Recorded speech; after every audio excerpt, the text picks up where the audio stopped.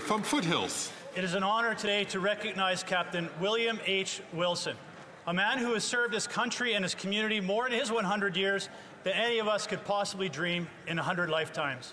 Captain Wilson served with the Royal Canadian Navy in the HMCS Ottawa D-Day and was honored with the Atlantic Star for his bravery.